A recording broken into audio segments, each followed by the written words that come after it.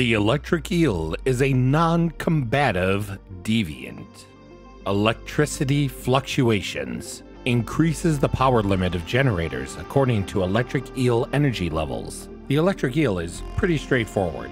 When you have one in a securement unit and the eel is active, long as there is a free generator that is not already being used by an electric eel, then it will attach itself to it and supercharge the output of the generator. Depending on the skill level of your deviant, is how much it boosts your generator. Let me show you some examples. Here are all of my generators. Currently, not a single electric eel is active. We see that the max output of each of these generators is 35 watts. As you see, I now have two electric eels active.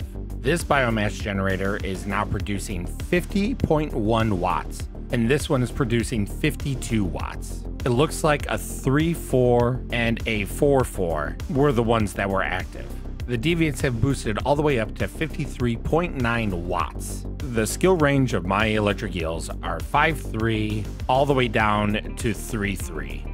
These electric eels are very powerful and can be very useful in any base that wants to maximize itself. Whether you're trying to produce mass amounts of oil and then refining it, or maybe you're the base that has all the defenses. Electric eels can be found by fishing in any water source, be it ocean, river, or even in the strips of water that are found at some sites.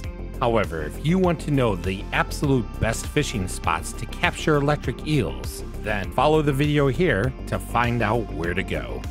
I will see you in the next video, adventurers. Bye bye.